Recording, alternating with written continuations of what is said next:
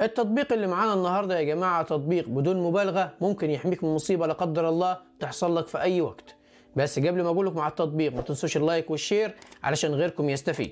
باختصار شديد التطبيق ده اسمه My NTRA واللي عمله الجهاز القومي لتنظيم الاتصالات.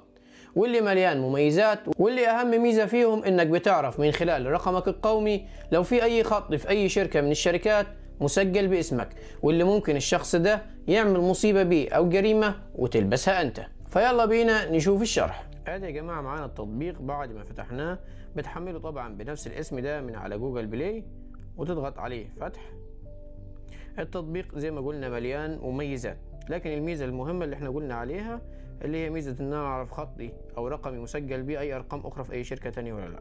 بتضغط هنا على الأفراد وهنا على خدماتي. وهنا على أرقامي.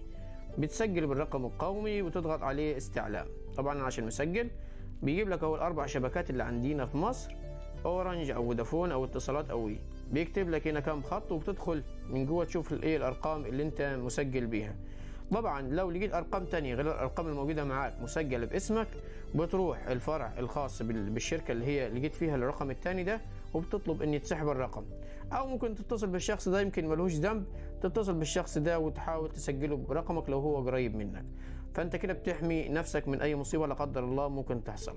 طبعا البرنامج مليان ميزات تانية زي منافذ البيع خلق الجودة اختبر سرعة النت عندك حاجات كتيرة أنتم ممكن تكتشفوها ولكن دي اللي حبيت انوه عليها معاكم في التطبيق ده. أتمنى لكم السلامة والصحة وأشوفكم على خير. السلام عليكم ورحمة الله وبركاته.